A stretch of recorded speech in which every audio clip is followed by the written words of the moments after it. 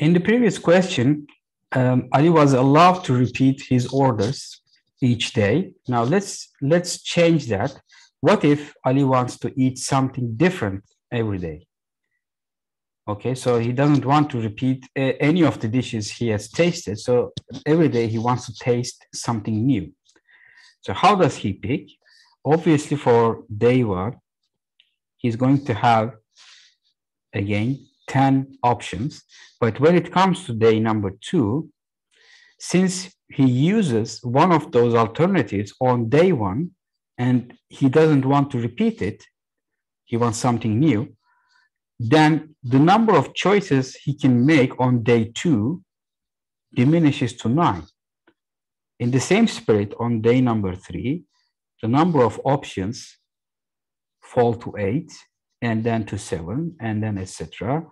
On day number seven, it's four.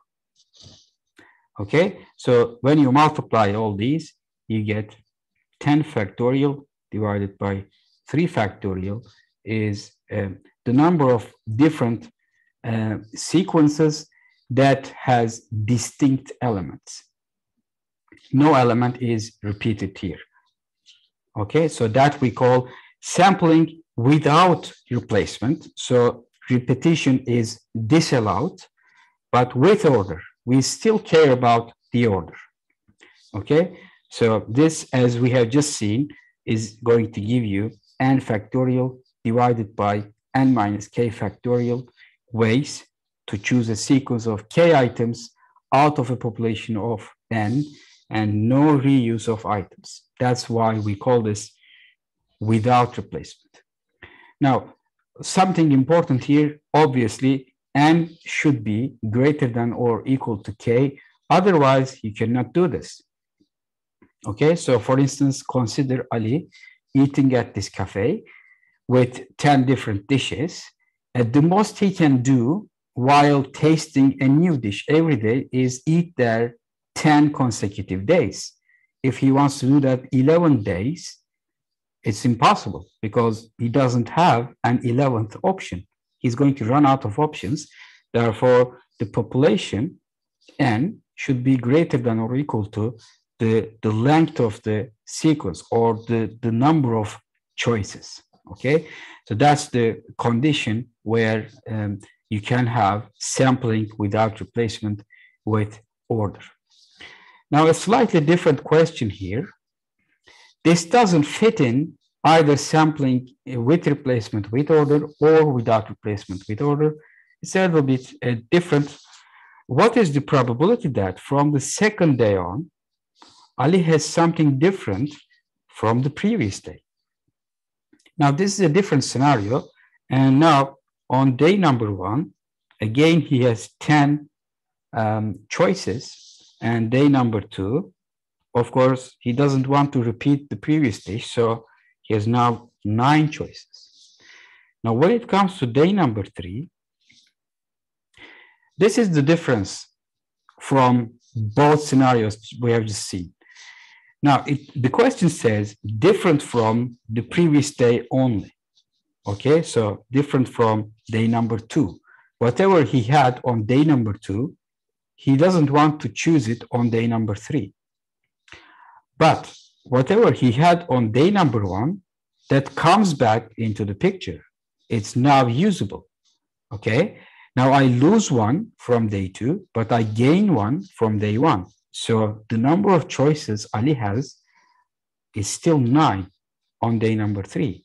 And this pattern continues day four, five, six, and seven Ali will have nine choices. So this will be 10 times 9 to power 6.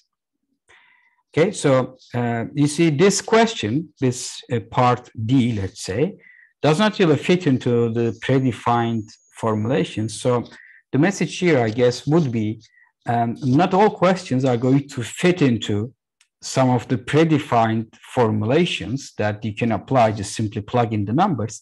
So you have to be smart about what the question means, what the scenario is, and how can I derive uh, the answer to that. Okay, so you have to be careful Uh, this is not about memorizing formulas. This is about understanding the scenario and coming up with the solution accordingly.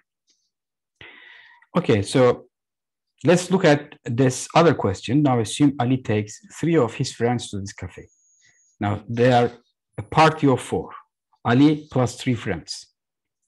Suppose they entered the cafe one by one, but randomly again. How many orders are there for their entry?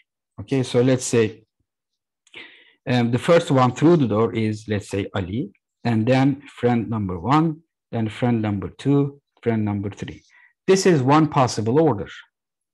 Or for instance, friend number one enters first, and then Ali, and then friend number three, and then friend number two.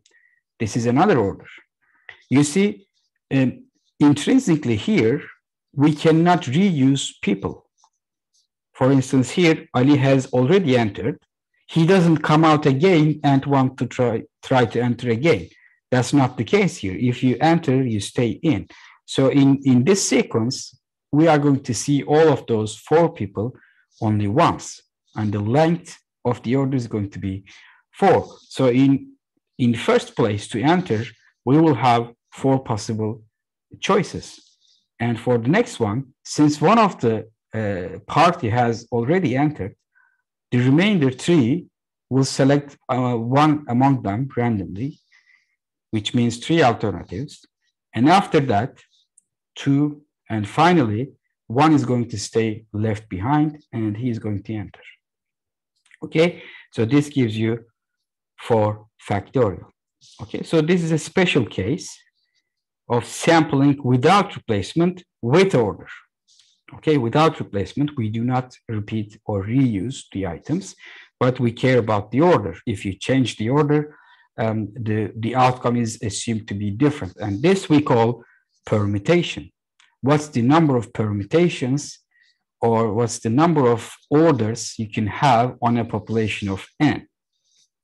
So that's essentially n selections out of um, a population of n without replacement with order, and that's essentially n factorial divided by n minus n factorial, which is 1, which gives you simply n factorial. And that's the number of permutations on a population of n.